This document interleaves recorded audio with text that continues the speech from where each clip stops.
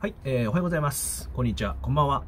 SNS とインフルエンサーの学校理事長を務めております。健太店長こと、ケンズと申します。えー、初めて見ていただいた方は覚えて帰っていただけると嬉しいです。よろしくお願いします。えー、動画の概要欄にですね、SNS とインフルエンサーの学校の URL、えー、その他、私が管理しております、えー、ホームページの URL、はい、すべて集約されておりますので、えー、ぜひですね、お時間ある方は一読いただけると嬉しいです。よろしくお願いします。SNS とインフルエンサーの学校ね、入学すると、えー、社畜を抜け出す近道、えー、きっかけになると思いますので、ぜひぜひよろしくお願いします。で、今日はですね、えー、ちょっとタイトル的にはまだどうなってるかちょっとわかんないんですけども、あー、日本人って頭おかしいやつしかいねえの？みたいな。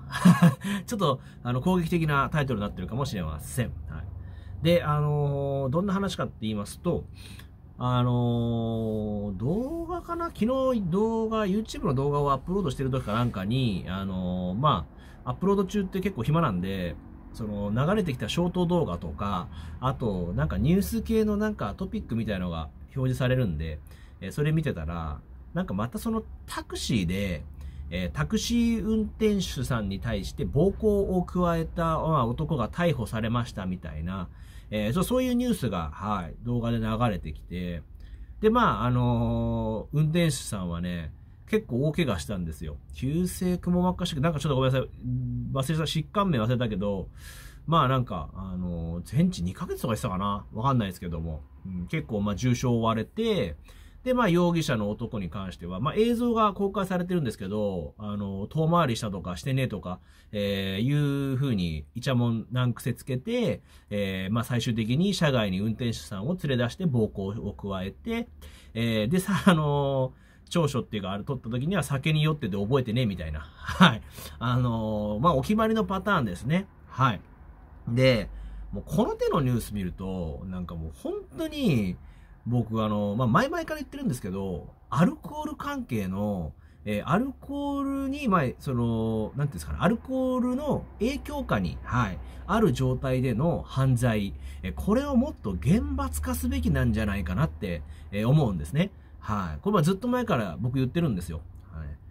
あのー、日本って最近もそうですけど、その大麻とかね、えー、まあ、コカインとかね、まあ、他の薬物に対しては、まあ、僕は大麻は薬物だと思ってませんけども、えー、まあ、そういう薬物っていうふうに、まあ、日本人が認識しているものに関しては、あの、ものすごく、あの、風当たり強いというか、で、まあ、法律に、あの、関するその罰則もすごいんですよね。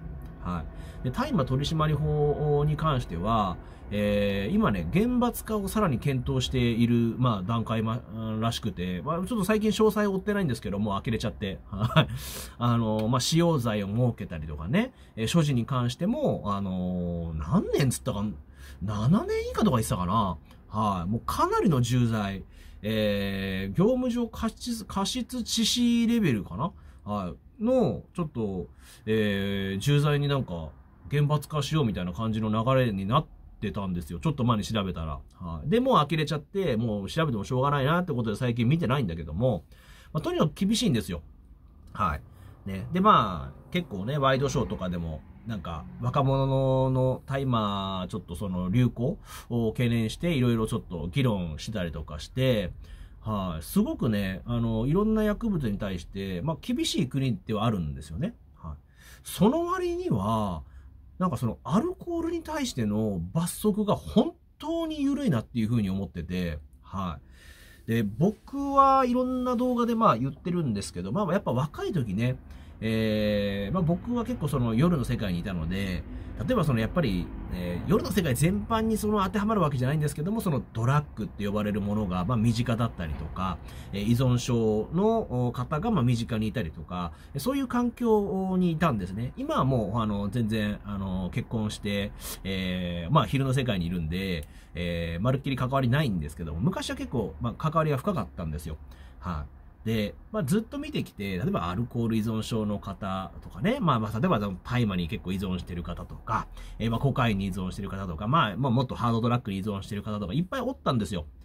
で、僕がまあ実際その見てきた感覚で言うと、正直そのアルコールも大麻も効果効能に関しては正直そんなに差異がないんですよね。差がないんですよ。はい。まあ、どっちも結局、まあ、酔っ払いたい、まあ、その、広い範囲の意味では酔っ払いたい目的で使うものなんですよね。やっぱアルコールも大麻も。はい。だけど、その、僕はどっちもその是非を問うわけじゃない。もう今更ね、日本でタイマー別にいいんじゃねえのとか言ったってしょうがないんで、えー、もう流れ的にね、あの、どんどん頭の悪い方向に向かってってるんで、もう僕がピャピー、ピャピャいたところでしょうがないから、特に言わないけども、合法化しろとかそういう話じゃなくて、単純にその、あの、僕が見てきた感覚、肌感覚としては、あの、アルコールと、その大麻って、結局その、なんか、酔っ払う目的で使用した時に、その、型やその大麻の方って、僕が見た感じだと、すごい平和な酔っ払い方をしてるんですね。皆さん。はい。で、僕カリフォルニアにもまあ2回行ってて、まあカリフォルニアは合法みたいなもんなんでみんな昼間ってか朝からやってるんで、あれなんですけど、すごく平和な酔っ払い方をしてるんですよ。はい。だから、だからいいとは言ってるわけじゃないですよ。見た感覚の話ですからね。何回も念をしますけども。そう。あの、平和な感じで、まあ一人でなんか楽しんで酔っ払ってるって感じなんですよ。だけど、アルコールの方って、あの、いい酔い方をできる人と、あの、悪酔いしてしまう人ですごく分かれるじゃないですか。で、まあ、今回のこのタクシー運転手の方に、まあ、暴行したね、え容疑者の人みたく、良くない酔っ払い方をする人も、やっぱ多々いるんですよ、このアルコールの方って。はい。えー、それを比べた時にね、例えば、その、方やなぜか、ものすごく厳罰化、まあ、に今、まあ、向かってて、日本では。はい、で、まあ、世間体的にも、大麻をやった人間は、もう、社会的地位を、要は剥奪されるわけなんですよね。ステータスのある人だったら。はい、えー、僕らみたいな、あのね、もう、パッパラッパの年長は別にそんな、あれですけども、まあでもやっぱり、牢獄に入れられてしまうわけですよ。もう所持でも。ね。えー、だけど、型やアルコールの方って、まあ、こういう事件が起きて、まあ、この方はちょっと暴行してしまったんで、まあ、捕まるっていうか捕まったんだけど、なんか、その世間、世間の、あのー、雰囲気的に、まあ、酔っ払ってんだからしょうがないよね、みたいな、あのー、なんか謎の風潮あるじゃないですか、日本って。僕ね、これが本当に、あのー、日本人の頭おかしいんじゃねえかなって思うんですよね。だって同じなんですよ。やっぱりその、なんか、その、まあ、ドラッグというかそういう高揚感を得られるものの影響下にあるっていう状態って変わらないんですよ。アルコールだって大麻だって他のドラッグだって変わらないわけなんですよね。だけどなんでアルコールだけがこんなに市民権得てるのかなっていう。うん。で、えー、よっぽど、まあ正直僕からしたら、その大麻とかね、えー、コークとかそういうドラッグよりも、よっぽどアルコールの方が立ち悪いよ、あのー、酔い方をしてるんですよ、実際。だけど、アルコールって別にそんなに、あの、咎められないじゃないですか。で、飲酒運転して人を引いて殺してしまったりとか、まあ、今回みたくタクシーの運転手さんにね、えー、浮気はかなり難癖つけて暴行して怪我を負わしたりとか、はい、いっぱいそういう事件ってもう日々起きてるじゃないですか。むしろ毎日ありますよね。アルコール関連の酔っ払って刺しちゃったとか、酔っ払って喧嘩しちゃったけど覚えてないみたいな、相手死んじゃったみたいな。なんでそんなアルコールだけ、あの、寛容なのかな、みんなっていう。うん。不思議なんですよね。ここが本当に、アルコール関連の事件が起きるたびに、なんでそんなに、あの、みんなアルコールに対しては、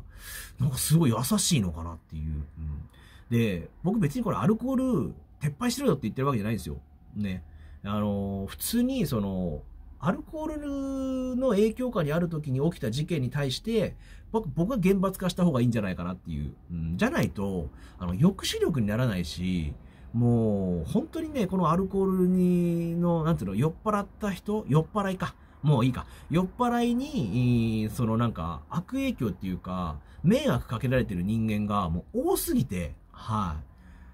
い、なんでここ改善しないのかなっていうふうに。ね、法治国家なんでしょ？っていう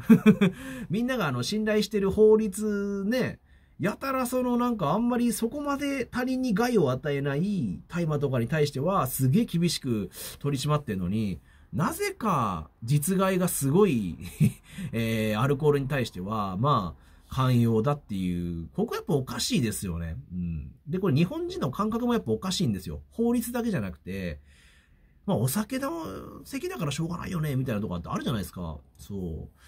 う。なんでなんですかね。まあみんながアルコール取ってるからなんでしょうね。僕はね、個人的な意見としては、その、ちゃんと楽しく飲める人以外は、やっぱアルコールはそんなね、取るべきじゃないなって思うんですよ。うん。あの、だからなんか粗相した時に、もう逮捕、即逮捕で、それこそ、もう、懲役7年、7年以下でいいんじゃないですかはあ、あの、最低、最低刑で。はあ、だっておかしいですよね。本当に同じようなものがそんだけ厳罰化に今向かってるのに、なぜかアルコールは全然あれだし、CM もバンバンやってるっていう、そう。まあだからこういうことなんですよ、結局。法律ってこの程度のものなんですよね。うん。全然なんか絶に善と悪でできてるわけでもないし、そんなに法律自体を信頼しきるものでもないんだよっていうのをみんなにしてほしいなと思って、うん、僕はもうこのパパアルコールのなんかな、あのー、取り巻く環境に対して、まあ、定期的にこういう風に文句っていうかイチャモンつける動画を出したいんですよ。あのー、なんかその、一人でも多くの日本人に考えるきっかけになったらいいなっていう。だっておかしいからね。うん。はあ。たしなん、なんかその、楽しく飲める人以外は、なんか、やっぱりその罰則をもっときつくしないと、なんかサービス業やってる人とか本当にめんどくさいし、かわいそうだと思うよ。うん。僕だってあれやっぱりその昔サービス業やってた時は、あの、ある、あの、なんていうの、酔っ払った奴らに結構迷惑かけられたんで、で、まあ逆になんかちょっと粗相したからこっちが、まあその撃退するじゃないですか、酔っ払いを。そうすると、不思議なことに酔っ払い撃退した僕がしょっぴかれるっていう謎の事態が起きたことがあるんで、意味わかんないんですよ。なんかもう迷惑かけられたゾーンなんですよね。はい。酔っ払いが絡んできたから、撃退したら、過剰防衛で、あの、警察に連行されるっていう、もうあれほど腹立ったことはないですよ。次の日、しかもめちゃくちゃその時、あのー、思いを寄せてた女性とデートだったんですよ、僕。だけど、警察ね、の人って嫌おなしなんで、夜10時に仕事あって、その後に長所だったんで、はい、あ、夜中の2時3時とかまで長所取られて、いや、俺明日デートなんですけど、つっても、いや、そんなん関係ねえから、みたいな。不思議ですよね。アルコールの影響下で暴れたやつをですよ、撃退しただけなんですよ、僕は。なんでこっちが悪くなるのかなっていう、なんでそんなアルコールばっかり擁護されるのかなっていうね、昔からやっぱおかしいと思うんですね。はい。まあ、とはいえ僕もあの、やっぱりね、アルコールで散々人に迷惑かけてしまったんで、はい。あんま人のこと言えないんですけど、そうなんですよね。でも僕店員さんに絡んだことないんでね。はい。そういう酔い方はしたことないんで。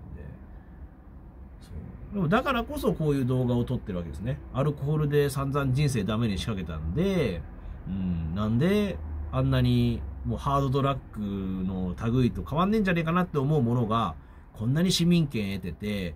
えー、ほとんどの一般市民、日本人がアルコールに対しての警戒心っていうか、意識が薄い。うん、やっぱりこれはおかしいなっていう、うん、思いますよね。だからこの前の松本人志さんの、あの、お酒の席でのね、あの、いろいろな話、うん、まあ、あれはね、そもそも妻、妻子持ちでああいう遊び方してんのはちょっと良くないっちゃ良くないんだけども、だけどお酒の席でちょっとああいうね、なんか性的どうとかこうとかって言ってるけど、もうあんなんだって酒ってドラッグだから、もうドラッグパーティーしてるところに、まあ、女性を責めるわけじゃないけど、そういうところに行ってるんだっていう、で、何があってもおかしくねえんだっていうふうに、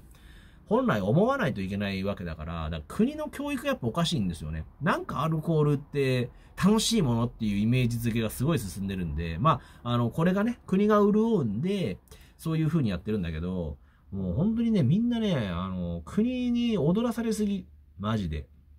うん。飲むのはいいけど、迷惑かけたら、やっぱりちょっと厳重に罰した方が僕はいいと思いますよ。はあ。ね。じゃないとやっぱおかしいですよね。あのタクシー運転手さんなんかマジで腹立つと思いますよ、本当に。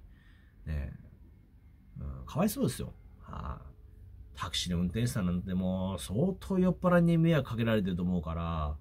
うん。でもあれでもあの、うんちゃんが逆に逆撃退したら、ね、暴力事件とかで、その会社とかの信用も落ちてとかになるわけでしょ？なんかもうサービス業の人たちが、その我慢しないといけないみたいな、この空気も結局アルコールのせいなんで、あの、まあ、全部がじゃないけどね、そもそものクレーマーもいるから。とはいえやっぱ拍車かけてるんでね、アルコールは。うん、もっと厳罰化してほしいな。っていう。で、みんなは、あの、いや、ちょっとおかしいんじゃないかなっていう、この環境に気がついた方がいいですね、本当に。うん。アルコールも確かにそうだよなって思ってくれたらいいなっていう、まあ、そういう動画でした。はい。えー、まあ以上ですね。はい。さよなら。ケント店長でした。See you.